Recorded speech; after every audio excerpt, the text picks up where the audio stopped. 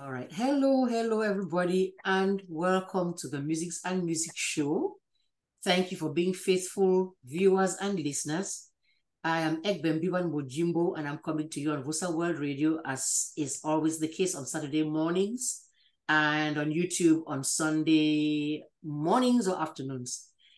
Again, I have a guest with me this time, and as you know, I am always happier when I have one because it means I'm getting somebody with an expert on something, be it health, be it entertainment, something. And this time, um, I have somebody who's going to be talking about health. In fact, I am praying and hoping that this is not going to be the first and only time that this is the first of many other similar shows where we can cover issues that have to do with health because our health is our wealth. All the other things we do, we can only do them if we're healthy. So that's where we're going to today. But I'm going to ask her to introduce herself first so you know you're not going to be listening to somebody who is just a charlatan, as they call it, somebody that was taken off the street to come and just babble. They know what they're talking about. So please, ma'am, go ahead and introduce yourself. Who are we uh, listening to or watching today? Thank you so much, Sister Etunde, for having me. I'm excited to be here with you. Um, my name is Malingo Elangwe. Mm-hmm. I am a mom. I'm an aunt. Mm-hmm. I am a sister, mm-hmm. a registered nurse, a women's rights advocate, uh-huh. a public health professional, and a founder of a grassroots organization which is focused on improving the health of people in vulnerable communities. But You heard her. You're very welcome to the show. You heard her, she gave you her credentials. So now you know when you listen to her speak, you know you're listening to somebody, an authority in the area. So there's many things that she can cover. But today we have chosen to talk about one thing that is predominant in our society that is a problem, and that is diabetes. Okay. So I'm going to start from the basics because I'm here and I don't know the first thing about anything. So I'm going to start by asking you, what is diabetes? And how many types are there? Because I've had type one, type type two, type something. So what is it? Can you just tell us a little bit of what it is and how many types are there to start with? Thank you for that question. I'll do my best to explain it. It's a broad question. okay, diabetes is a metabolic, it's a group of metabolic uh, conditions that affects various organs of the body mm-hmm. and it causes hyperglycemia. Hyperglycemia just means elevated blood sugars. Okay. And people who suffer from diabetes would present with various signs and symptoms mm-hmm. prior to the diagnosis. So there are, before they used to say there are two types of diabetes, but right now we have about four types of diabetes. Wow. So quickly then, were those were those ones always there and we did not know them or they uh, or they are new? They were always there, but the focus were not was not on them. Okay. okay. The focus has always been on type 1 and type 2. But guess what? We have gestational diabetes. We have something which is non-specific diabetes. It's called uh, latent autoimmune uh, diabetes of adult onset. Wow. So these people behave sometimes like type 1 diabetics, another time they behave like type 2 diabetes. It's a very complex condition when it comes to treatment. So the, the question is, what is type 1 diabetes? Type 1 diabetes is usually characterized by complete insulin deficiency. It's diagnosed, most of the time is diagnosed during childhood years or teen years, mm-hmm. where the child presents to the hospital being very sick with elevated blood sugars. Then when they do testing and blood work, they find out that, hey, this child has diabetes. The pancreas of people with type 1 diabetes is not working. They don't produce no kind of insulin. So everything they eat, which is related to carbohydrates, has the potential to elevate their blood sugars. So guess what? They are dependent on insulin. Then now type 2 diabetes is adult onset diabetes. Most people are diagnosed with type 2 diabetes after the age of about 40 or 45. And it is related to insulin insufficiency or insulin resistance, meaning the pancreas are producing insulin, but maybe they're not producing it enough. Okay. Some of the cells in the pancreas that are supposed to be producing insulin are dead. They're not working the way they're supposed to work. So that results in insulin insufficiency. Other times, mm-hmm. the insulin is produced, but the body becomes resistant to it. So the insulin is there, but it's not working. Uh-huh. And what is my, my, quick question is what would cause that if it was working before? What would cause that? That's well, me, I'm, I'm jumping ahead of myself. Let me just That is good. I love that. let, let, let, me listen to you to you just define them. Oh, then I'm going, okay, well, so sorry, my bad. Just no, just no. Us. Interject anytime. Because I'm hearing you say it just stopped working. Like, what did I do to get it to stop working? What, what yes. what's going on there? It's, that was my so, question it happens, the body becomes resistant to insulin. And what happens at that time is a lot of times it has to do with adiposity, fat. So obesity is the major issue here. Insulin is being produced, but because of adiposity, high amounts of fat in the body, the insulin is not doing what it's supposed to be doing. So that results in insulin resistance. Got it. Got it. Please go right ahead. Sorry. That's fine, Sister Itonde. Then gestational diabetes. This is also characterized by insulin resistance during pregnancy. So now you are pregnant, then the body produces, the pancreas produces insulin, but guess what? Because of hormonal changes and all kinds of things going on, your body is not using the insulin the way it's supposed to be used. So now blood sugars get elevated. And this happens usually between the second and the third trimester of pregnancy. So that's why if you're pregnant, you go to the hospital during second or third trimester, they will give you concentrated glucose or to drink, and then they draw blood after a few hours. Then now the latent uh, autoimmune diabetes of adult onset this is this happens in a funny way because most of these people were diagnosed with type 2 diabetes at the beginning. Mm-hmm. They were on oral medications. Mm-hmm.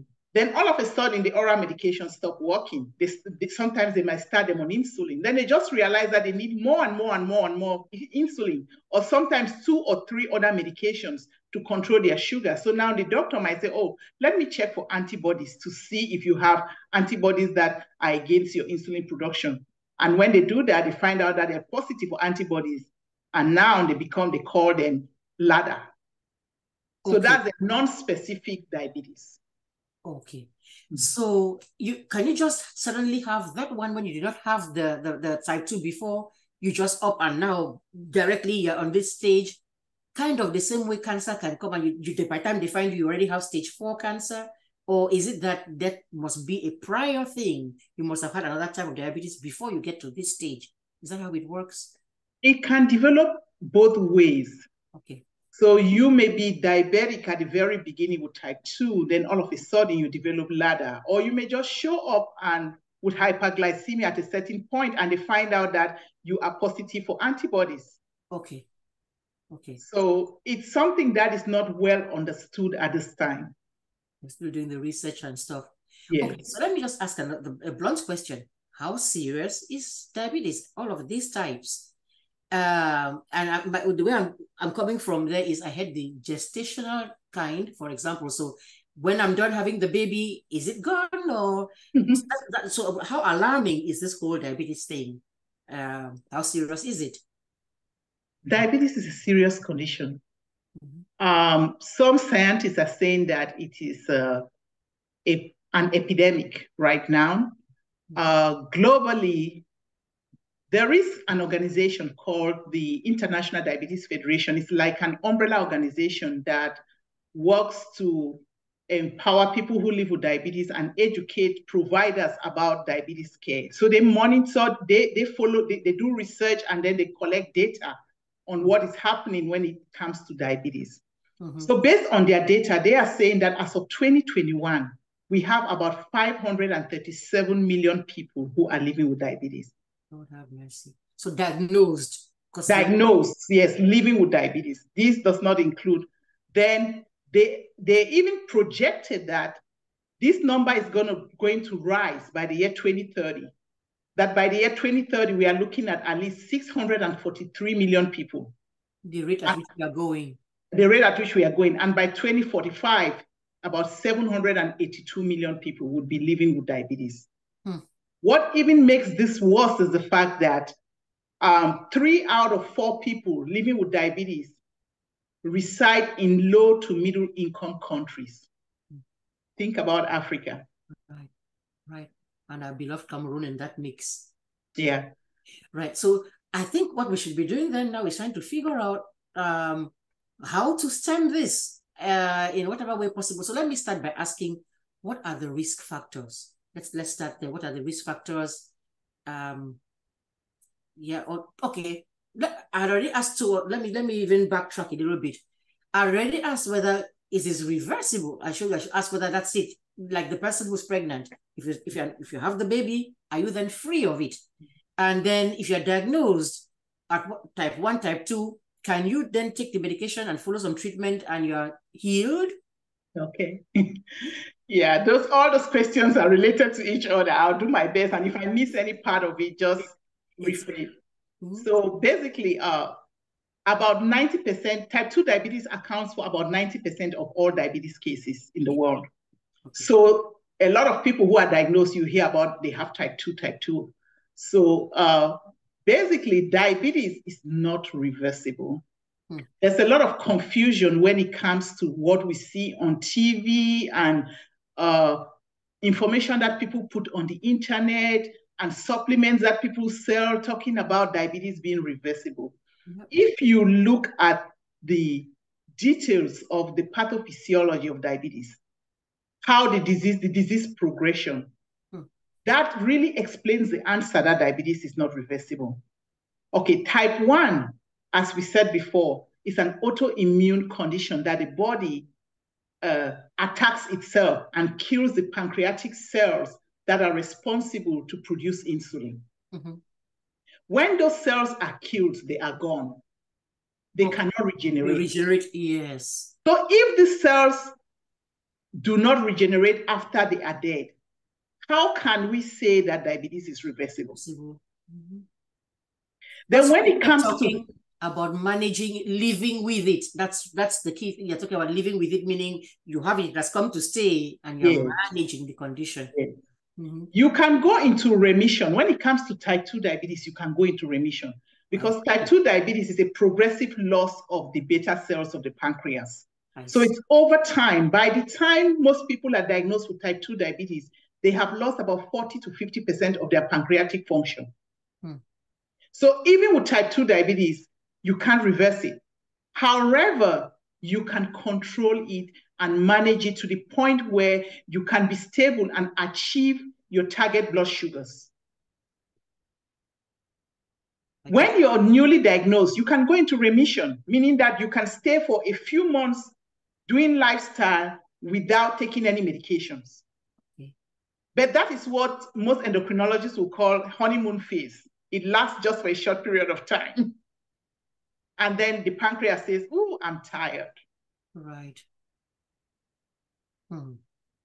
So it's not reversible, but it's manageable there's a big difference then it's good to make make that very clear. So yeah. don't, you don't go around saying i'm healed of this thing. Mm-hmm. it's a condition you're going to have manage you can have remission but it tends to come to come back. So you have a lifestyle where you're going to manage which means you're going to have to be on medication. You're not all the time though. Lifestyle lifestyle is the the key thing? Is the key thing when it comes to diabetes management. It, it okay. really accounts for about 80% of your success managing the disease. I see. No, medication is only about 20%. I see. So you asked the question about the risk factors. So what are the risk factors? Of course, we know with uh, type 1, there's genetic predisposition. So the risk factor, are you going to say it's bloodline, genetics? Friends, in the family kind of thing. Yes. But for type 2, there are many risk factors, and we have uh, modifiable risk factors and unmodifiable risk factors. So the modifiable, the unmodifiable, of course, is genetics. because science says that if you have a first degree relative who has type 2 diabetes, you stand a 40% chance of developing it. And by first degree, let's define that we mean immediate, like father, yes. mother, siblings. Correct. Father, mother, sister, brother, first degree relative. If you have any of those who have who has uh, type 2 diabetes, you stand a 40% chance of developing the disease. Hmm. So that's the genetic uh, aspect of risk when it comes to risk factors. Then the modifiable uh, risk factors pertain to lifestyle. Yes. Okay. Diet. What are you eating? Physical activity. Are you sedentary? Are you obese? Stress. And, and by, by sedentary, let's some of these things because you're talking about the medical terms, and some people are listening to us may not know sedentary meaning it's not a, you're not really mobile. Yes, you're not moving, you're not exercising. Yes. You know. Which which is a major thing for us out here, much less than it is in Cameroon, but out here. Are mm-hmm. things you sit, you can sit all day. That's why some of us actually have the watches that tell us it starts to buzz and say, get up and walk. Yes, you need that yes. kind of reminder. Not for me, actually, because when you're teaching, you are walking around the classroom and stuff. But mm-hmm. look, you get in the thing, there's an elevator taking you, an escalator carrying you to places, your car that you're driving to places in. You even have the drive-through things. So you can sit and sit and sit and not move. Then so, a lot of jobs, if you are doing administration, you're moving from meeting right. to meeting to meeting, you're sitting. So some people are requesting for the high table now in their offices so they can stand right. while they're working. Right, mm-hmm. right, right. So lifestyle is a big issue when it comes to uh, risk factors for diabetes. Then there are other things that people don't talk about. Remember, we just talked about uh, uh, gestational diabetes. Right. If you Pregnancy. had gestational diabetes when you're having during your childbearing years, mm-hmm. you also stand. It's a you also have a significant risk of developing diabetes, maybe 10 years later. Wow. So they, we have seen that pattern. People with gestational diabetes, they stop having their babies, then they show up to clinic. Last baby is maybe 18, 19, 20 years old. They show up to clinic and they're type 2. So it was just dormant there and waiting? There, there, it has to probably do with something happened to the pancreas when they had gestational diabetes. See. It increased their risk. I see. Then you also have the use of medications, which we don't pay attention to. We have a lot of kids who are asthmatics. They put them on steroids to decrease airway inflammation so they can breathe. Guess what steroids do? They cause diabetes. But again, you have to do what they call the you, weigh the risk against the benefits. That's why most physicians will put it put a child on steroids, maybe short-term use, or put an adult with arthritis on steroids for short-term use, because that's the issue with steroids. So you're trying to fix so HIV medication. yeah, you're trying to fix one condition, and it is making another one, uh, bringing another uh, uh, risk, another problem, just by the fact that you're trying to fix one issue, and then it's causing another one, and then so you're forced to weigh which one am I better off with? Let me fix my asthma and then just deal with the consequences, the risk. Wow. It's almost like they're bound to get you some one way or the other, one way or the other. Oh Lord. Un unintentionally, you minimize the risk by by shortening the duration of the therapy. So they put whoever is the patient on the use on the steroids just for a short period of time. That's the only way you can minimize the risk. All right, but my, my natural question, layman's question is I needed the thing. That's why you put me on it. So yes, short-term use. So when I stop using it, then uh, am I healed of my asthma? Um, hopefully at that point, the inflammation that was causing airway obstruction okay. has been taken care of, and you have gone over the uh, asthma, the the flare of the disease, or the we call it exacerbation. The flare is gone. You can breathe better, so you don't need it at that point. Mm -hmm. Okay, so you're you've already been touched on what I was going to ask next, kind of thing, because you've mentioned obesity. Means that's the thing. You said lifestyle, what you eat. But I'm going to say, what what? How can we prevent or manage it? Because it's two different things. Prevent, so you don't even have it in the first place, And then if you do have it, unfortunately, and it's not even reversible, how do you manage it? That, that's a, a good question. Okay. So if you already have diabetes, mm-hmm. now you're looking at management to achieve and maintain and maintain normal blood sugar levels. Right. Or target blood sugar levels. I shouldn't say normal. Then if you do not have diabetes and you have risk factors, you're mm-hmm. obese, um, you do not exercise, um, you have a high stress level job and all of those risk factors, then you want to do uh, interventions to prevent it. So there is there we have um, a system that is called the seven self-care behaviors for diabetes. Mm-hmm. It was developed by uh, American Association of Diabetes Care and Education Specialists. Mm-hmm. So those seven behaviors are basically built around lifestyle. So the first one is what? Eating healthy. We talked about it. I have heard many people talk about, oh, I'm going to go on a non carbohydrate diet, and it's not sustainable because we get energy from two major food nutrients.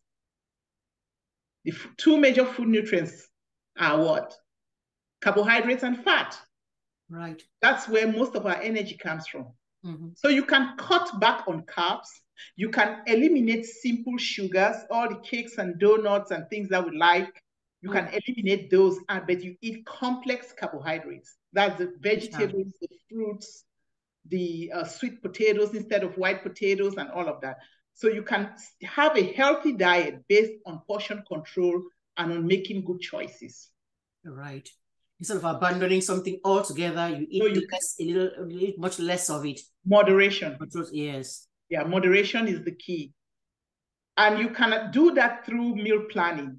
The issue with us is our lives are so busy that when it's time to eat, we grab and eat whatever we can find. And whatever we can find. Driving home, as you're driving home, you're like, when am I going to get home and start to put a pot on the fire? So you're like, okay, just drive by here and you go pointing at the burger there, number five, number six, fries and this, you're just eating it and just as you're driving.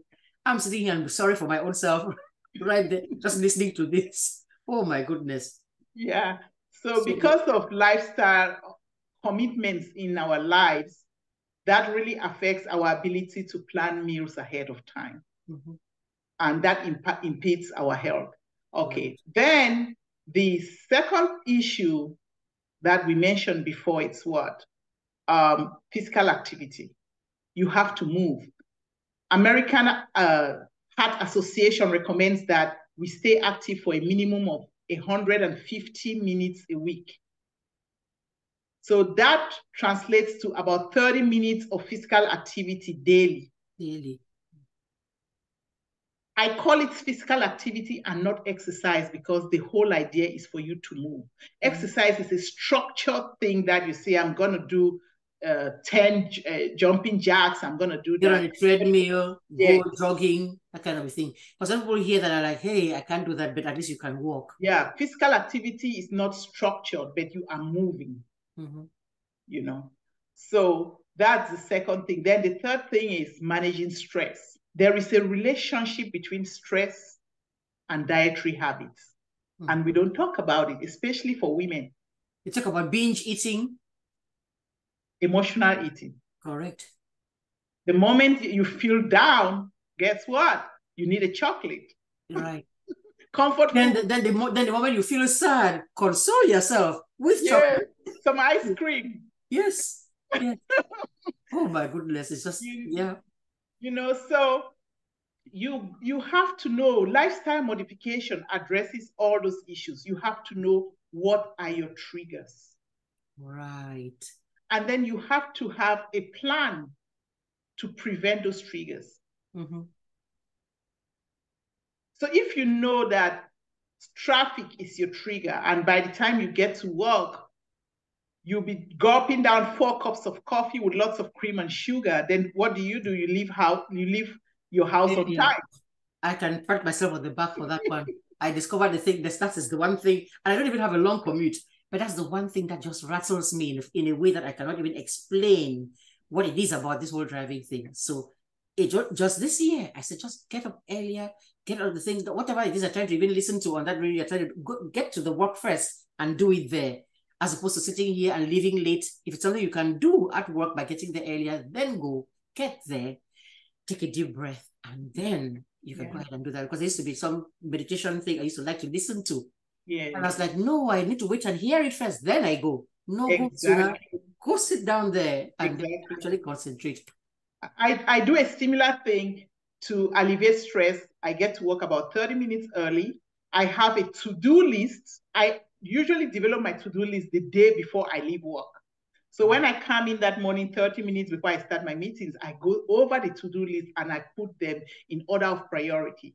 So that really helps to make your workday flow. It does. It does. I can I say amen to what you're saying there. Yeah. I can even put the stuff I need for the next day already on the board there. The date has changed, everything is there. Exactly. Do some things the night before, like even what you're going to wear to work. Mm-hmm. Put it out already, right down to my earrings and the things. So when I get up in the morning, it's not rush here, rush here. What am I going to do? Hair doesn't look good, which is why I've cut my own off together. and do some things which which can help reduce some of the stress. Yes. So the question many people would ask is, uh, how does stress really affect your blood sugar? Because if the way the body is built, we have the fight flight response. So when you're stressed, the body releases uh, a chemical known as cortisol. What is cortisol? It's a steroid. It's a natural steroid. The same steroid thing we just talked about again. Here yeah. So what guess that will also do what? It would also cause facilitate the release of glucose from the body. Mm-hmm. And then you end up with high glucose levels. So that's what stress can do. It do similar, you have a similar reaction with blood pressure. When you when you oh, are stressed, right. it causes vasoconstriction. Blood, all your blood vessels get tight. When that happens, your blood pressure goes up. Mm-hmm. Mm-hmm. So stress is a big factor. Then the other issue when it comes to lifestyle, the other uh, factor that we want to consider is uh, the use of alcohol and tobacco. That is also related to stress and there are triggers. I have, I have interviewed quite a few people who smoke and drink alcohol. Mm-hmm. A lot of them will turn around and tell you at the end of the day that it's a coping mechanism. Or after a, a hard day at work, I just have to have a bottle of wine. That's how I pay myself. That's even a lifestyle back home for many people. On your way back home, you just run it's a coping off, mechanism. Off license, yes, and drink, drown your sorrows and worries, yeah. and cause a new problem in the process. It's a coping mechanism. Mm-hmm. So I, I'm so happy because there are physicians now who are doing what they call integrative health, where they introduce other methods of of uh, other methods of staying healthy, like meditation and all of that. Right. So those could be methods which you can use to alleviate stress. As opposed to taking another thing from a bottle again, another actual medication, which, as you have said before, has its own side effects. It does. Something you're just doing naturally. Oh, wow. Then, just to add some flesh on that, mm-hmm. when it comes to alcohol, alcohol is not a good thing with diabetes. Alcohol and diabetes don't go hand to hand. Alcohol can cause a significant drop in your blood sugar. Hmm. Meaning, after you drink alcohol, I don't know if you've heard about people who were alcoholics. They went, they drank, they went to sleep and never woke up. Hmm. I know a few. Right, I know a few. So, too. alcohol can cause what they call alcohol induced hypoglycemia, meaning alcohol induced low blood sugar. Right and then you become unresponsive in your sleep and nobody knows and that's it yeah. you wake up in the morning and that's the thing and this we thought okay, the, the person just came and was just drunk and blah blah blah and okay. they realized what it did the damage i know quite a few yeah. that, that was the story so he was out drinking came back went yeah. to bed didn't wake up mm-hmm. yeah and the and the risk factor related to alcohol and hypoglycemia is what drinking alcohol on an empty stomach which most alcoholics do mm-hmm they haven't so we tell people who have diabetes, if you have diabetes and you have to drink for any reason, make At sure least. that you have eaten. At least eat something. Eat something before you drink. Mm-hmm. Then the other thing is you have to stay away from mixed drinks, the margaritas and tequilas. They make them with high fructose syrup. I see. Fructose is what? Fruit sugar, concentrated fruit sugar. Right. So after you drink them, then you have a rapid spike in your blood sugar. So alcohol can drive your blood sugar one, one direction or the other direction. You mm. can end up with very low blood sugars, oh. or you oh. can have elevated sugars, depending on what you drank, how you drank it, when you had it. Mm-hmm. You know. Wow, there's a lot of things to watch out for. Mm-hmm. Wow. And so, um, but I've heard, okay, you talked about managing, managing the condition. I've heard about the word controlled, well controlled diabetes. So you have it, it's not going anywhere because you said it's irreversible. Mm-hmm. So how do you stay on track with it? How do you manage it and keep it under control, if I can call it that way? What are the things you should do? You talk about the lifestyle changes already, but but but so can you get a point where if you do that, you follow those directives you've given, manage the stress, uh, eat right, uh, ex- not necessarily exercise, but keep active, then are you like kind of can you now coast along or how? Yeah, yeah, you can you can control it doing what is recommended, what your provider or your physician or nurse practitioner tells you to do. Mm-hmm. Um, we have uh, in the morning we, we, we say the ABCs of diabetes of diabetes. Mm-hmm. A stands for A1C. Okay. A1C, A like capital A, then figure 1C. Okay, A1C is a blood test that is usually done to evaluate your blood sugar for the past two to three months. Okay. The goal for someone who's, who lives with diabetes is to maintain their A1C below 7%. Okay, so is this something you're going to monitor your own self at home? Or you're going to have to go The somewhere? doctor, once you have diabetes, the doctor will probably check your A1C if you're poorly controlled the doctor will check your A1C every three months. But if you're well controlled, he can check it tw- twice a year. Oh, okay. So, and based on that, the doctor would tell you what is your target goal for your A1C. The ADA, which is American Diabetes Association, says A1C should be less than 7%. But at the same time, they say it should be individualized okay. based on age, and comorbidities, meaning other illnesses which the person may have. Say, if I have diabetes and I go to see my doctor, the doctor will say, oh, you're young, you're in so, so, so, so age, you're middle age, uh, we should keep your A1C below 7%. Mm-hmm. But if an 80 year old man comes in who has kidney disease, has heart disease, has all mm-hmm. kinds of other things, arthritis, the doctor may say, with you, your A1C at 8.5% is good. Because older people stand the chance of having very low sugars because they don't eat as much as they used to eat. They have lost some of their taste buds. Right. You know, so they have they are at high risk of having low sugars. Mm-hmm. Then they also have uh, renal insufficiency. Some of the medications that they take, the body does not excrete them as quickly as when you're young. So if they're taking those medications and those medications are stacking in the body, are, are slowly being excreted, and they're not eating enough, and you are trying to put them at a very low target for blood sugar, guess what? They will be having back-to-back low blood sugars. And low blood sugar in older people can cause a heart attack. I was just going to ask that what are the, what, what actually the things that what are the, so, the yeah so that is letter a B is blood pressure control. Okay. The goal is for your blood pressure to be less than 130 over 80. I know there are new studies that are, that which states 120 over 80, but we, we're still That's going. Yeah, we're still going with 130 over 80 for right now. Okay. Then um, you have C, which is your cholesterol panel. Well, I, have good cholesterol and bad cholesterol. I'm going to talk about it. Okay. So there is a, a relationship between high cholesterol and high blood sugar. It's just like they are bodies. As your blood sugar is going up, cholesterol is going up. You see most people who are have type 2 diabetes are also on cholesterol medications. So the cholesterol panel has like four different types of fat to simplify it. It has the total cholesterol.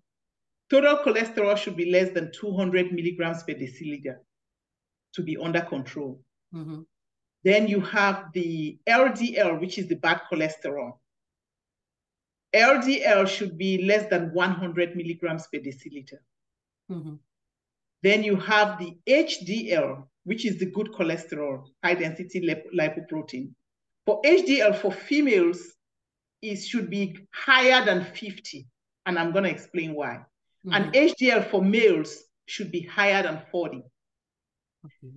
After our childbearing years, when all those beautiful hormones are gone, mm-hmm. guess what? Our risk for heart disease increases more than males. Okay, which which which begs the question. So if you do not have any children, are you just then not not going to be in that part, in that bracket of risk? Even if you did not have any children, you're gonna go through your body. Correct, correct, and your body still did the cycle and still did all the other things. Exactly. Why? So it increases the risk of for heart disease. That's why they decided that HDL, which protects the heart and all of that stuff, should be greater than 50 for females and greater than 40 for males. Then you have the triglycerides. Excess fats are stored as triglycerides. Mm-hmm. Triglycerides should be what? Less than 150. So those are the four components of the lipid panel that the doctor is going to talk to you about. All of this comes in your diabetes management. Okay. And how much of this can you do on your own at home, and how much of it do you have to go to the a medical facility for them to have it checked? For example, is there a machine that will check any of these things at home? You have to see your doctor on a regular basis. Most diabetics will see their doctors either quarterly, every three months, or every six months. Most people with diabetes. So this is the doctor will tell you about lifestyle, eat healthy, exercise, monitor your blood sugar. Those are the seven self-care behaviors of diabetes. That you mentioned already. So the seven self-care behaviors include monitoring your blood sugar at home. When you monitor your blood sugar at home, there are target goals. That's the finger sticks that you do. Your fasting blood sugar, to know if your sugar is under control, your fasting blood sugar should be between 80 to 80 to 130 in the morning. Correct. Just please explain what fasting blood sugar means because somebody's listening and not understanding what it means. Okay. So fasting blood sugar is the, the blood sugar that you check before you eat your first meal, which is breakfast. Correct. Mm-hmm. Before you even drink water. Because water is a solvent, it's going to dilute the concentration of your sugar. So first thing in the morning, your fasting blood sugar is what you check before you eat anything. And the goal for your fasting blood sugar when you have diabetes is that it should be between 80 to 130. Mm. Then if you have eaten two hours after a meal, say you had lunch and you just feel, I feel sluggish and I have diabetes, let me just check and see what's going on. Two, you, you never check your blood sugar immediately after you eat because you're going to have a faulty high. Okay. So you check it two hours after the meal. Mm-hmm. So two hours after the meal, the clock starts ticking from the first bite, not two hours after the plate is empty. Two different things. It is. Say that, say that again. The clock starts ticking from when? From, from the, first, first bite. bite. So if you take, you eat that little thing, you leave the food there, run and go to do something else, it does, it, it's, it's that first bite that still counts, not the fact that you took. The first bite counts. So two hours after the meal, if my first bite was at 8 a.m. My two hours after the meal is 10 a.m. It's not two hours after my plate is empty. Right. So two hours after the meal, the goal should be less than 180. Mm-hmm. That's your goal. Your blood sugar should be less than 180. Mm-hmm. Then at bedtime, the goal is that your blood sugar should be between 100 and 140.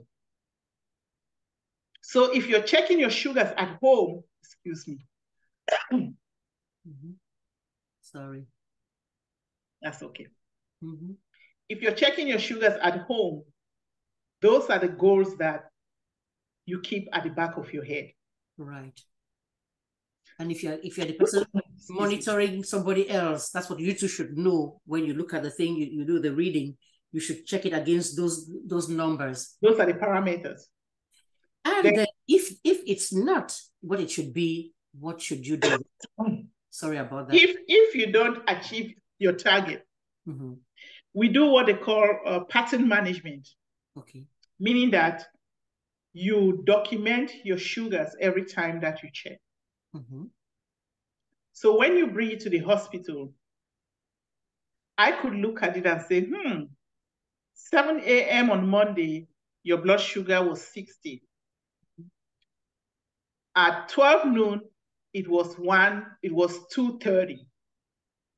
At bedtime, it was 300. So the day before Sunday night, did you eat? Why do we have a low sugar? Oh, yes, I was so tired. After church, I didn't eat.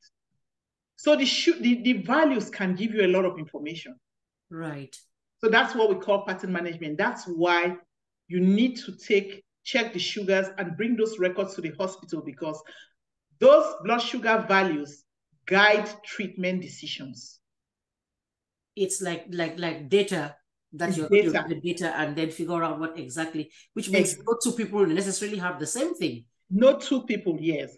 So that's the first thing when it comes to monitoring. That's why we say one of the first self-care behaviors is blood sugar monitoring. The second self-care behavior is what? Healthy eating. Mm-hmm. You never skip meals. You distribute your carbohydrates throughout the day. You eat breakfast, you eat lunch, you eat dinner. You never say, oh, I didn't eat breakfast, so my lunch will be a big lunch. I'll eat double the amount. Unfortunately, the body does not accept dumping. You just cannot take a whole lot and put it in there. It will result in elevated sugars. Right. So you eat a small breakfast, a small lunch, a small dinner, and you can have snacks between three snacks. Mm-hmm. You can have maybe a cup of oatmeal and half a banana in the morning. You mm-hmm. can have a handful of nuts in between breakfast and lunch. Then you have your lunch, maybe a salad or a vegetable wrap. Then you have a cup of yogurt. Then you have your dinner, some vegetable soup or something. So you have to do that. Mm-hmm. Then of course we talk and about I'm noticing that you're not calling achu and koki in the in that whole thing and ekwang and stuff, and that is what's you what... can still have your achu, but instead of having a big bowl of the fufu, the fufu mm-hmm. is like uh, mashed potatoes. Right. You do half a cup of that pounded fufu. Mm-hmm. And that's only about what? About 15 grams of carbohydrates. Then you drink lots of soup and your protein. So you can still eat everything. You right. just have to understand the concept of portion control. Correct. Correct. You know, and I don't know whether because for the for the other things, um, they are kind of measured. The, the, the items, the food items that are out here are kind of measured. They will tell you that a banana has this number of calories and so, on and so. I was getting to that. Okay, please go right ahead. so so talking about diet and portion control, you mm-hmm. can manage portions two ways. The simplest way is something we call the plate method. Okay. If you if you just Google my healthy plate, you'll see it. The plate method just describes what kinds of food you can put on your plate and how much you can put on your plate. So it says when you have a plate, your plate should be no more than nine inches in diameter. Mm-hmm. And half of that plate should have non-starchy vegetables. When it comes to vegetables, we have two groups. You have the starchy vegetables and you have the non-starchy.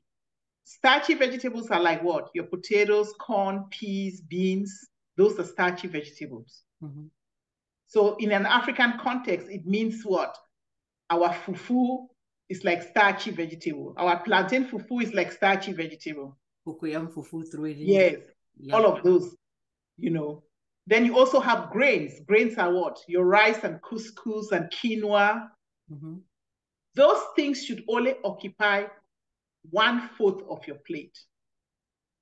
Meaning, if you draw a circle right. and you divide it into four halves, one half out of those four portions, that's where your fufu and plantain and potatoes, rice should be no more than that fourth. one fourth of the plate. Then your protein should be three to four ounces, size of your palm. No more than that. Then half of the plate should be your non-starchy vegetables. Correct. Broccoli, cabbage, string beans, Brussels sprouts, ndole, you know, half of the plate. Mm -hmm. Ndole is healthy, by the way, because ndole is what? Peanuts. Peanuts very high in protein. Mm -hmm. Egusi very high in protein. Right. And I'm sure, I'm sure you're not talking about ndole, but after you're done cooking it, then you pour oil. The thing is just... that is what kills us. That's the thing. The oil is just shining and glittering on the thing. You're like, yes. And that is the issue. Whereas the ndole that's the weakness. not the problem. Mm -hmm. That's the weakness right there. So mm -hmm. that's it about diet. Then you have um, physical activity. We already talked about physical activity, that being yeah. active for at least 150 minutes a week. Mm -hmm. All you do, you need is leisure walking. Just walk for 30 minutes. Mm -hmm. And that is done. Then you also have um, taking medications. A lot of people from my minority groups have ad adherence problem. We do not believe in taking medications. When I did diabetes research, one of the things my qualitative data showed was the fact that people believed that those medications would cause harm. So they resort to herbs and every other thing that they knew. Bet for the medication itself. For the medication. So we, we rebelled against vaccines too. Yes. When it came to the COVID, we were the ones that were least likely to, to yeah. more likely to say no it, and the conspiracy theories and all yeah. not wishing to take the thing, we have that tendency. So medication adherence is a big problem. The other aspect for medication adherence is the lack of insurance. Definitely. So sometimes people Definitely. don't have the insurance to go to the hospital, or even if they are seen by a physician on fee based fee, uh, fee basis, that where they pay out of pocket, right. they don't have the money to buy the medicine. Right. It's a funny thing. And this is so. This is a common issue, a common barrier to care, especially in minority groups and in mm-hmm. low to middle income countries. Right. It's so, it's a, it's a sad kind of eh, vicious cycle because then, like you talked about healthy eating, okay, you go now to try to get something organic. Have you seen the cost of those organic things you're trying to get? So the person with that low income, like, as you're saying, tends to do the uh, McDonald's, a dollar, I don't know why it still exists, a dollar a meal, something thing. So it's not mm-hmm. healthy, but that's what they can afford. So it's it's really, and then when they do get sick, then they can't afford the treatment too. And it's like, um, it, it's, it's, it's, it, it's, it's, it's a terrible cycle.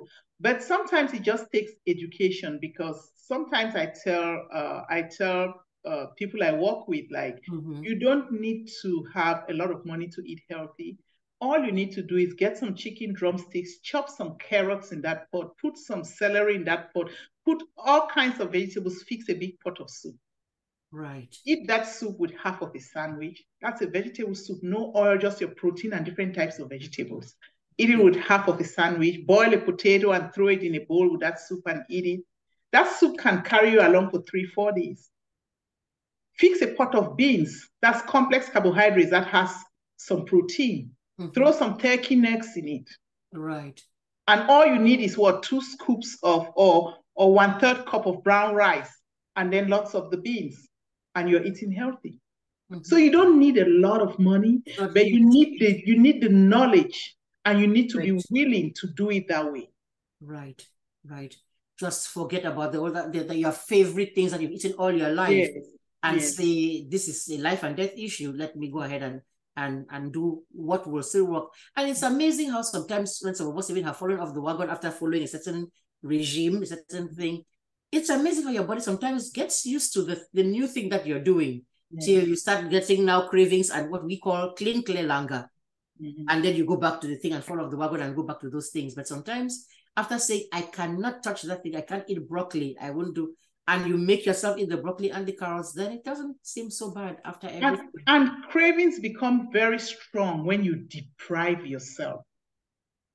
What we need to learn how to do is to do it in moderation. You can have one or two pieces of, of uh, chocolate mm-hmm. but you know it's one or two pieces. You can have a little bit of chin chin, but you know just a handful and that's it. And the next three months, maybe I won't eat it. When you do that, your subconscious makes you believe like you can have everything. So the, the issue about having a very strong craving is not even something to worry about. Right. So it's, it's not the deprivation. You've deprived yourself of something yes. and then you crave it even more because you, you just crave it even it more. Totally. Mm-hmm. And that leads us to the next thing about managing diabetes, healthy coping. There's something called diabetes distress because we give all these instructions. Take your medicine or eat this. Exercise. Many many people diagnosed with diabetes express this feeling of being overwhelmed. And they have their lives to manage. Mm-hmm. they have they have the disease to manage. Mm-hmm. they have the emotional and psychological aspect of the disease to manage. Manage as well they're like, I not so you much. know. So what I tell people is, do not hold yourself to very high standards. Mm-hmm. It's okay if there is Thanksgiving and you have a piece of cake on that day. It's okay. Mm-hmm. Mm-hmm. mm-hmm. But the issue would be if you take a huge piece of that cake as carry out and keep it in your refrigerator. and every day take it out. You don't want to do that. But when everybody is having par- partying and having fun, you can you have sit, sit in the corner over there, and and and with, with your with your carrots and your soup. Yes. Yeah. Then you really do feel miserable. Yes, and there are a lot of different ways you can. There's something called food exchange, meaning it's my birthday. We're going with friends to what cheesecake factory, and I really want to have the cheesecake. Mm-hmm. So when we get there, everybody's ordering a pasta meal. Guess what? I order a chef salad. Those are leaves, the carbohydrates, it's very small. Right. So maybe my whole plate of salad is only about 15 grams of carbohydrates. Right. And lots of protein from the chicken or the salmon that they put on the salad. Mm-hmm. Then guess what? My cake comes and I eat half of it, and that's about 30 grams of carbs. I'm still within the recommended guidelines. But guess what? I ate what I wanted to eat. Mm-hmm. So you don't leave that cheesecake factory saying, "Look, at I went there because of this thing I did was not even yes. this at yes. all." You can yes. say you did eat it, you just ate it. it yes. So that is the importance of education when it comes to these diseases. Definitely. People will say, "Oh, what are they telling me?" No, there's a lot to learn about it. Right. It empowers you. You can make those decisions. You can play around with stuff, and your blood sugar still stays within reasonable, acceptable range or target range. Perfect. Perfect. So now then let me go to the next question that I was mm-hmm. going to ask. So what are the myths? Because you said knowledge, you talked about the fact that knowledge is what you need to know, things that you need to know. Mm-hmm. So what are the com- what some common myths that people believe? If you have diabetes, oh this, this, oh this or that, which uh somebody told you or you saw it online or in a TikTok thing. Uh, what are some common myths that people that we need to debunk here? Yeah, interestingly, we have addressed some of them. Yes. like uh, diabetes is reversible. That's a big one because people have written books, do this to reverse your diabetes, take this supplement to reverse your diabetes, and all of that. That's the biggest one. As I said, if the pancreas are affected and some of the cells are destroyed, we cannot regenerate those cells. So that results in what? Uh, diabetes, uh, insulin insufficiency. Mm-hmm. And that will cause your blood sugars to be elevated or insulin resistance will cause your sugars to be elevated. Mm-hmm. Then the other one that you hear most of the time is, I have diabetes, I cannot eat carbohydrates. That is, and most people who do that, they start getting depressed because of the disease, because it's like I'm not enjoying life. Most, right. if you realize, a lot of the food that tastes good are carbs. Correct. You can eat diet, you can eat carbohydrates, but you have to eat them in reasonable portions. Correct. You have to prioritize complex carbohydrates, which are mostly like starchy vegetables and grains, over simple sugars, the cakes and the pies and all of that. Mm-hmm. Mm-hmm. You have to watch your portions. We just talked about the plate method, or you can do carb counting. Correct. Some people would count their carbs and keep their carbs, their carbs. The recommendation is 45 to 60 grams of carbs for each meal. And for each snack, 15 to 30 grams of carbs. So once you have been trained to count carbs, you can control what you eat based on right. carb counting. So can we? Can somebody just go online and find uh, uh, uh, that that information and follow that, or do there you have? are some, yeah, there, there's some information, but it makes sense if somebody explains it to you. Correct. So you're not doing because now we know that everything we, we, we, we Google things and not mm-hmm. everything that you see because you you enter the certain search word there and it mm-hmm. pops up just because it's on the internet sitting there typed doesn't mean it's the correct thing to do. Yeah, there is information, but it's just better if somebody who knows what they're doing can explain it to you so that you put it together. Correct. So it's like go under the advice of a, of a, of a somebody in the medical. Yes, a, a diabetes care and education specialist, um, an endocrinologist, a primary care doctor, a nurse practitioner, somebody who has been trained on diabetes management. Specifically, so they know that they know what they're telling you. Yes. Right. And, and then specific to you too, you this individual, as opposed to just something sitting out there which may not be tailored to you and your own specifics. Yes then uh, sometimes you hear people talk about, I cannot uh, drink alcohol at all. I used to drink a little bit of wine. No, now they diagnose me with diabetes and I cannot even put anything in my mouth. And you see them in a party, they are so miserable. They are sitting there, but no, that's not true. Mm-hmm. You can have a drink, but it depends on how much and what you're drinking. Correct. You are really re- the margaritas. You said no, no, no, not those. No, you can have a drink. Mm-hmm.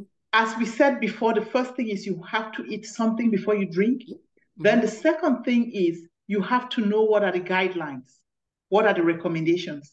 It's recommended that for males, you have no more than two drinks. Okay. So the question is, what is one drink? I was just going to ask that. two drinks, so, a tall glass of beer, a, a, a mug of beer, uh, what? how many shots what? of whiskey? Mm-hmm. Yeah. So for males, no more than two drinks. For females, no more than one drink in a 24-hour period. So for, for, for, female, for males, one drink is like one and a half ounce of hard liquor. That's one drink. Okay. One and a half ounce, 1.5 ounce of a liquor. That's a shot. Okay. Okay. Or 12 ounces of beer. Which that's a bottle of beer. 12, 12 fluid ounces of beer. That's a bottle of beer. Or um, four ounces of wine. That's a glass of wine. Mm-hmm. mm-hmm. That's one drink. So if you do those things times two, then you had two drinks. So females can do one. Most females will do, just do wine anyway. Maybe a glass of wine, that's fine. So you don't have to deprive yourself. But you want to stay away from high fructose drinks and you want to make sure that you've, you've eaten something before you do that. Perfect. The other myth that I hear is, oh, let me just eat whatever I need to eat. After I'll go home and I'll inject insulin. I'm already on insulin. Terrible. Terrible. That that is that that bothers me. That that is scary. It's uh, even from from from a lay point of view. I'm looking at that like, mm. yes, people do that. I have actually been in a place where somebody said something like that. Oh, just give me the cake, let me eat, I'll go home. And I'm like, yeah. But again, it has to do with a knowledge gap. They don't know. They don't know any better. When yes, when we know better, we do better. So insulin is calculated based on your body weight and also your kidney function. Mm-hmm. So when you go home and you're doing extra doses of insulin because you want to eat all these extra things or big portions, you're not doing your body a service. There's something called insulin stacking, which may occur. We don't know when it can occur. Right. Meaning that the, the, the, insulin piles on top of each other as you're taking it. Mm-hmm. When it gets to a point, guess what? You just start having uncontrollable low sugars. Mm. You can even go into seizures. Wow. So that's the danger of dosing yourself, not following the doctor's prescription. Right, right. I, I was going to ask about this because you hear about amputations. Complications of diabetes. That is that's okay. Those are the complications. Can you just talk we, about? We can talk about, about that. Please do, please do. So as, as when when we started, I mentioned that diabetes affects various organs of the body. Mm-hmm. Okay, um, it could affect the eyes. Hmm. more than 50% of blindness that we see is related to poorly controlled diabetes. Really? Uncontrolled, yes, that we see. There's something called diabetes retinopathy. Hmm. It means diabetes has messed up the retina of the eye. Wow. I don't think I quite I quite knew that because I have I, I was asking about amputations, but that's what I've heard. Amputations. The, the, I'll get to the amputation. I, I, I didn't know that there was. I didn't know. I've heard mm-hmm. about coma and other things that do, I haven't. I didn't realize that yeah. will actually affect your eyes and cause you. It does. So it is recommended as part of health maintenance. It's recommended that if you're diabetic, you at least go for a comprehensive eye exam at least once a year. Okay to get make sure that your eyes are doing okay. Mm-hmm. Then you have uh, the heart, heart disease. Diabetes, when blood sugars are very high, it can cause your blood vessels that go to the heart to be hard, stenosis. Hmm. And that can lead to what? Heart disease and other issues. Correct. It increases the risk of blood clotting. Think about it if you take water and you add sugar to it and you add fat to it and you add sugar to it and you add what happens to the consistency becomes thick thickens yes so when you have high viscosity as a result of on your lipids are high meaning cholesterol and all of that and blood sugar is high your risk for developing blood clots also increases if the blood clot travels to your heart, we call it what? Heart attack. It travels to your lung, we call it what? Pulmonary emboli. It travels to your brain, what do we call it? Stroke. It's stroke, clinical stroke. That is all related to, to diabetes. Wow. Let's talk about kidney. Kidney disease also has a strong relationship to diabetes. Hmm. When diabetes is uncontrolled, it messes the blood vessels of the kidneys. I'm just keeping it simple. Right. Results in kidney failure. You would realize that a lot of people who are on dialysis, dialysis, if you ask them, they will tell you they have diabetes. Many people. Wow. Then we're not giving this diabetes the the the the the, the the seriousness that that it really has because it actually branches out. We talk yeah. about diabetes, layman's thoughts. Diabetes is this one thing. It's you a terrible disease. But the way it spreads out and stretches out and can affect, I'm learning from you today that it's it goes everywhere. It, it goes everywhere. Mm-hmm. So your kidneys could be messed by uncontrolled diabetes. So when how do we manage that in the hospital? you we, you can come in they do what they call blood chemistry and check for your check your kidneys or sometimes they will take your urine and check for protein in your urine mm-hmm. protein is not supposed to filter through the kidneys and appear in urine if protein filters it means that the filtration system of the kidneys has been broken and guess what breaks breaks it down diabetes because glucose molecules are big when they go through the filtration system, they break the filter. Then guess what? Other things that are not supposed to go through it, like protein, starts going pass through. right through. It's like i am just my own analogy is like just looking at my sieve downstairs.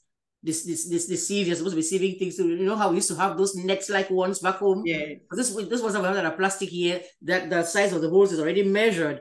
But those ones that we used to have back home, you can like a mosquito net. The threads are moving something hard came and forced its way through. It's then the cup is, the hole is bigger. Other things that we're not supposed to go now go through. Go through. Wow. It. So now it messes up the kidneys. Mm-hmm. So usually doctors would do some a urine test to check for protein in your urine called urine microalbumin or something.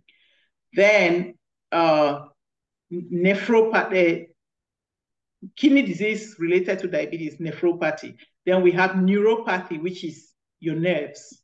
Mm-hmm. Diabetes can burn your nerves.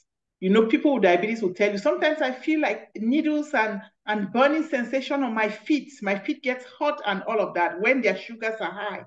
Right. When that continues over and over again, it messes up the nerves. When the nerves are burned, guess what? They lose sensation. I don't know if you've ever been to the doctor and the doctor tells you to remove your shoes and he takes something like uh, a wire and touches different parts of your below your feet and tell close your eyes and tell me if you feel anything. I haven't had that yet. Yes, they do that, mm-hmm. especially for people with diabetes. They will do that, and if they have lost sensation, then they can send them to specialty care like a podiatrist okay. to design uh, specific kinds of specialized shoes for them and all of that. Mm-hmm. So the risk factor of amputation comes with neuropathy, the loss of nerves. So when you lose your nerve, your, your sensation and the nerves are, are, messed up, you can be going around your yard and doing yard work bare feet. That's why we tell them reduce risk by don't by avoid walking around bare, barefooted. So all it takes is for a small piece of wood to pierce through your foot and trouble starts. When your blood sugars are high, the smallest wound becomes a challenge to heal. That's where when I said about gangrene. Yes, they, we have that uh, organism called staph, Staphylococcus aureus. It will just cause the chop flesh-eating bacteria. Lord have mercy. One thing after another until it, go, it gets to the bone. Oh Lordy. Then you end up with what? Amputation if they can't do anything. Right. So the thing which which if you didn't have that condition, we are all are growing up, you have a little cut, have a little this, you treat it and it's good, it's well and good, and you're back to go after putting a little band-aid on the thing. For somebody now in this condition, it's a whole different it's different. We normally tell people with diabetes, we say if you have a wound, something sticks, pierce you, because you can have a piece of wood can pierce you and you you look at it and take it out and you feel like oh i took everything out. Not knowing that some part of it is in there and then it results in what an abscess and other things happen so it's always good for them to report to the hospital just to make sure and report go to the emergency department i have diabetes and i was moving around and something pierced my feet please i just wanted to check and they'll check it and sometimes if there's a need, they might give you a topical antibiotic to put on it or something. But they have to take care of their feet. The other thing is they also have to inspect their feet, even if there's no injury. Okay. Because we are in a culture where we are constantly wearing closed toe shoes, and that traps moisture. Okay. So when moisture is trapped, sometimes below underneath the toes, especially when we are getting older, you see some people's their toes are clenched together. Between the toes, underneath the toes, you want to check it. Because if, God forbid, the skin breaks as a result of moisture, mm-hmm. something could be growing in there if you have lost sensation and you don't know it. I've seen no. it happen. And one day, your foot is just swollen and you don't know why it's swollen. You come to the hospital when the doctor inspects it or the nurse inspects it, they say, oops, you have something here. Did you know you have something here? You and say, the person is saying no.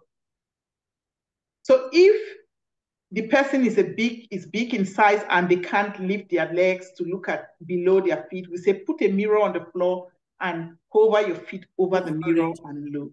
Interesting. If you have a relative, tell the person at least three times a week, check your feet, check between your toes. So this is if you're already diabetic.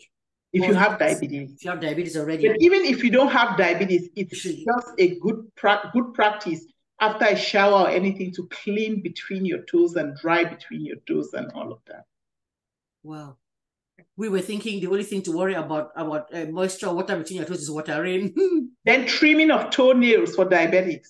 Right. Remember that they already have issues with their eyes. So if you're having issues with your eyes and you have diabetes, we recommend that do not trim your toenails by yourself. It's better for you to go to the hospital and have a podiatry or somebody put eh, a, a foot technician trim it for you. Okay, what's because all it all it takes is oh, just for you to mistakenly clip a piece of flesh. Right. Oh. And boom, something bad starts happening. Right. So probably you shouldn't. So all these pedicures, Mm-mm. Not a good thing for people who have diabetes, though. File the nails, or if you have to clip it, clip it high, not close to your flesh. Mm-hmm. Mm-hmm. Then you file it down. So you clip high and file it down. That's the way to do it. Nice. So we've talked about complications of the eyes, the heart, the kidney, and we talked about uh, neuropathy. Right. So I think those are the major complications, you mm. know we've learned a lot in the I, I, have even lost count of, of, of how much time has gone by. I've just been listening there and swallowing the information mm-hmm. and going hmm this is the kind of sh- show that i myself will sit and listen to and mm-hmm. say take note of everything that you've heard there and just plan accordingly. So then would you be willing because this is this is um you talked about it. Knowledge is power. Knowledge can help to prevent when you know better you do better and we can prevent some of these things. We talked about diabetes today um, even on this same subject, would you be willing to just come and like have a webinar kind of a thing? These days, not everybody has to travel to somebody's cabinet there, the doctor's office, and sit there. Would you be willing to do it like a Zoom thing, webinar thing? People sign up for it if they're interested, if they have questions based on what we have just been talking about here. Because I know my, my cell phone is going to go off when this thing airs Um, ask her this, ask her that, but you cannot do that now because we already had the show and sat down here and did this. So would that is that something that you'd consider doing? Yeah, we we can do that if your audience uh, want to learn more or if they have questions, we can do that. Uh, I know the other questions I've had is about diabetes medication. Sometimes I've had uh, patients who say, "Oh, but my sister is diabetes has diabetes." And they are just on one medicine. Why did the doctor put me on three medicines? Mm-hmm, mm-hmm. You know, and they're upset that it's a something, some kind of uh, uh, uh, agreement between the between the medical practitioners and pharmaceutical industry to give mm-hmm. them a lot of medication. You will hear stuff like that. Right. But that is not true. The disease progression is different for people. Mm-hmm. You know, sometimes when people are diagnosed initially, the doctor might start them with one medicine, and all these medicines have different targets and different mode of actions. Mm-hmm. So they might start them with something like metformin. Okay. Metformin, what does it do? Metformin would control the release of glucose from the liver to the bloodstream. That's how it lowers your sugar. Right. It's also called glucophage. Then, if that didn't work, the doctor might say, Oh, let me add a second one. They might add something like glipizide or that's the sulfonylurea that would stimulate the pancreas now to give you insulin. So you see, he is attacking that disease from different directions. Right. It's not matter and that didn't work. And more than the other person. It's a matter of yes. which person's needs. Yes. But the other person achieved their target glucose with just one medication. Mm-hmm. Mm-hmm. So those are the things that a lot of times on the patient side is frustrating. They don't understand it, and you know. And I would say sometimes back home too, people tend not to ask any questions. The, the even here, even here, the white coat syndrome. A lot of times, if you don't really have a relationship, a good relationship with your doctor, it could be intimidating going to the hospital. So you go there and he has done the labs and he said, This is this, this, this, this, I'll start you on this. Yes, doctor. And you walk away.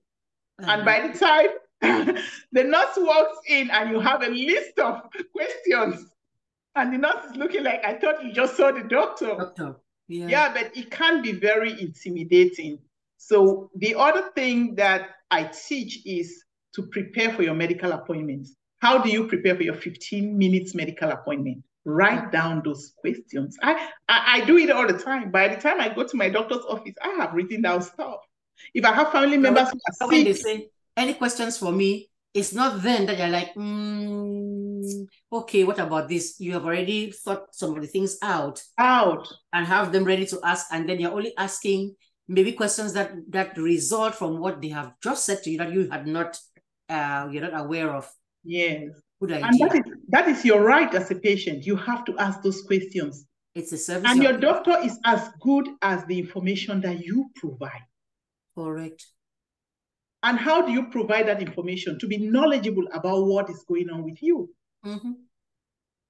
explain to them when, when they, so the questions they'll ask you other things you volunteer Yes. and, and be, be accurate as accurate about the things as possible. I cannot Yes. like I used to, to, to make this joke about people who you have gone and lied on your age about how old you are on your birth certificate, and you have the nerve now to go to the doctor's office and still say the wrong age there. The wrong age, yeah. But you've already said here that what a 40 year old gets is different from what a 30 year old gets, and that kind of a thing. Like, I'm like, are you, you have to be kidding me. How ca- that's the one place where you cannot afford to lie. Or telling lies about alcohol, alcohol consumption. And the doctor is looking at your, your diagnostic test and you have else. fatty liver. Yeah. And he's like, there's Really? something wrong here. You don't drink alcohol. you know? or you do, I don't smoke, and when you when you do, that's when Mm. it's time to go and be. The, like I, I said, there's two places: the priest or the pastor and the doctor. Please just go tell your truth there. the two things, the two, even whatever else that you think that you should go and lie, not to those two specifically, and the doctor, because they can only, like you just said, whatever they're giving you there is based on what you have said. Yes. When they say, How many times did you go to stool today? They're not follow, they're not in the bathroom with you to see if you really did poop or whatever it is. Exactly. If you say one time, or have not gone at all, then they know to say, take this milk of magnesia or do this, or you, know, it's wow. This has this has been very, very enlightening. Mhm. Learned a lot. And I really, really, really would would would follow up on the um depending on how the audience relax re, re- re- um, responds to this, figure out whether we can do this into something that you're, you're going to consider doing. And of course, going to other um conditions. Of course, yes. There are many Yes. other conditions that, that Um, we can talk about. because even if we're talking about this one, even talking about this one, you've talked about the other things, dialysis, so that's kidney disease, disease. mhm. heart disease, uh, high blood pressure. And I'm not be surprised that if you say when you're talking about high blood pressure, these other ones too, what we're talking about today comes in. Yeah, they are all intertwined. interrelated. Yes. Yeah. We need to thank you so, so, so, so much. Oh, thank you for having me. Is there anything last thing that I may not have thought of asking that has that comes to mind? I think for the most part, we addressed most of the things, we touched most of the things. And uh, if your audience, again, if your audience wants to learn more, we can always have a Zoom and a conversation about it. Right. Uh, Or the next time you come, um, when whatever questions that we that they bring up now, we can start there by saying, okay, you know, remember this time we talked about uh, diabetes. Somebody asked me this question, and we can address the matters arising okay, from this one, and then start over there. I am really, that's a great idea. I'm grateful, so so grateful, because there's nothing like useless information. It's not. No, If, if somebody already knew it, then it's a good reminder, and if you did not know, now you have learned. Yeah, So I want to really thank you, Dr. Malingo. You're my little sister, but you've earned that that doctorate in every fair and square sense of the word. thank Thank you you, for that knowledge that you're willing to share thank the you, betterment of our community. Thank you so much. thank you, Sister Etonde. Thank you for having me. You're very welcome.